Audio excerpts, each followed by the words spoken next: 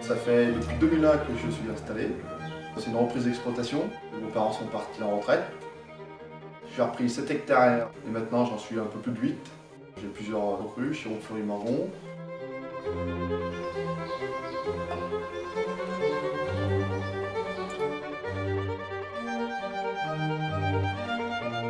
Sur un couleur rubis, transparent, très limpide. Donc au niveau nez, très expressif.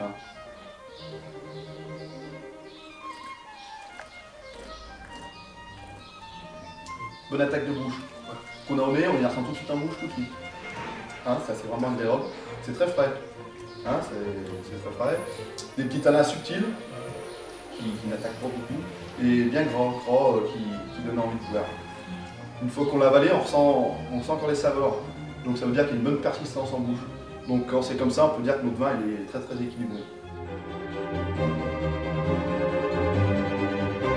Bon, personnellement, je le considère euh, super bon au bout de 2-3 ans.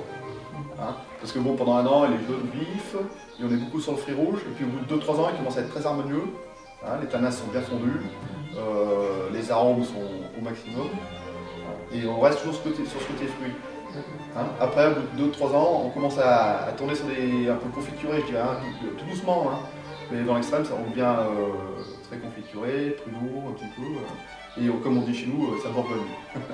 C'est-à-dire qu'on tombe sur des arômes qui sont complètement bourguignons. pour l'instant.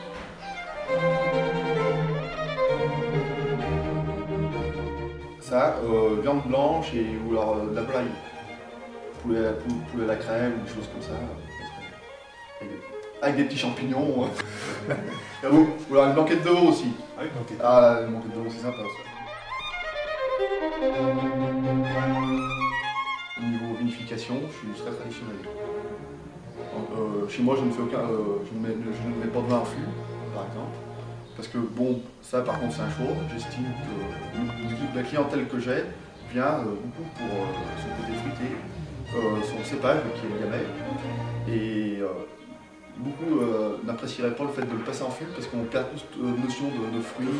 et puis les gens qui viennent chez nous, c'est pour goûter ça, quoi. Enfin, ce ga- le gamay avec euh, beaucoup de fleurs, de fruits, tout ça. Sitôt qu'on est boisé, les gens ils sont un peu perdus, ils disent non, ça ressemble plus en Bourgogne, c'est pas ce qu'on cherche.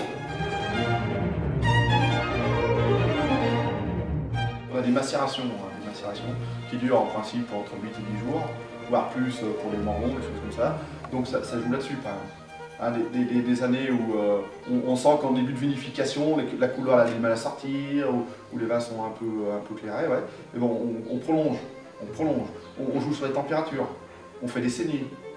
Des, des saignées, c'est-à-dire que dans notre cube, on enlève un, petit peu de jus, ça fait que la, matière solide est plus, enfin, un peu plus importante euh, initialement. Donc euh, tout, euh, tout ce qui est matière colorante, tout, ce- qui est substance, et ben, se reconcentrer. quoi.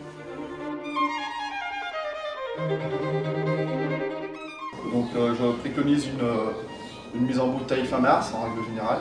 Ensuite, euh, je- je- j'essaye de mettre tout en bouteille le- d'un- dans une seule fois. Parce qu'on s'est souvent aperçu que ceux qui font des, plusieurs mises au, fond, au long de l'année, plus les mises sont tardives, plus on perd ce côté fruité et ce côté euh, aérien. Je pense qu'on a un métier où il faut être très très complet. Il faut être très bon viticulteur, il faut être un bon œnologue, il faut être un bon commercial. Non, c'est vrai, il faut être bon de partout. hein.